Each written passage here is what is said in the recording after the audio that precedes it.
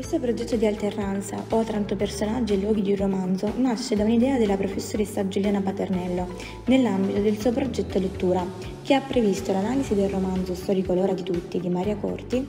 l'analisi personaggi e infine la visita dei luoghi teatro delle vicende narrate sullo sfondo storico dell'arrivo dei turchi ad Otranto e la lettura di brani significativi sul campo. Questa idea, nell'ottica di una didattica interdisciplinare e funzionale al nostro indirizzo di studio, si è intrecciata con i contenuti e la finalità della geografia, dando vita ad un progetto di PCTO che si inserisce nei percorsi progettati da Italia Nostra per la realizzazione di itinerari turistici sostenibili, praticati attraverso una mobilità dolce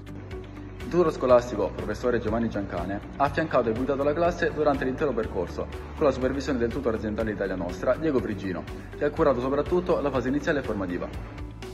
Il progetto di storytelling è sviluppato attraverso quattro fasi. La fase formativa, nella quale attraverso video lezioni con esperti nel settore si sono appresi i concetti essenziali di turismo sostenibile e mobilità dolce, laboratoriale durante la quale si sono effettuate le ricerche online sul campo e la progettazione dell'itinerario.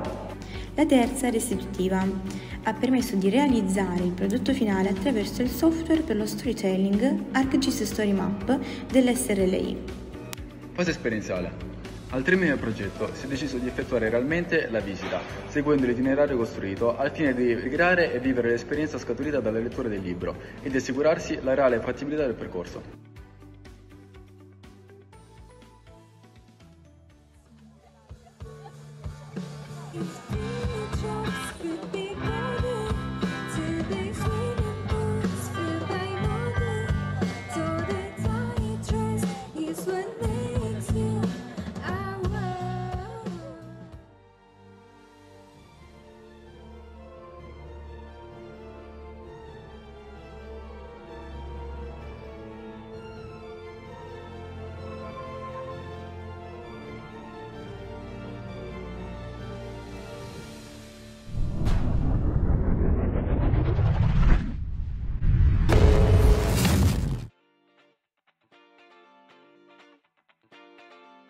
La scelta di utilizzare ArcG Story Map, suggerita da Italia Nostra, è stata l'occasione per imparare a utilizzare uno strumento di storytelling altamente innovativo che ci ha permesso di eh, sviluppare significative competenze informatiche che si sono aggiunte alle altre competenze attivate da questo percorso, anche in campo relazionale, artistico e linguistico.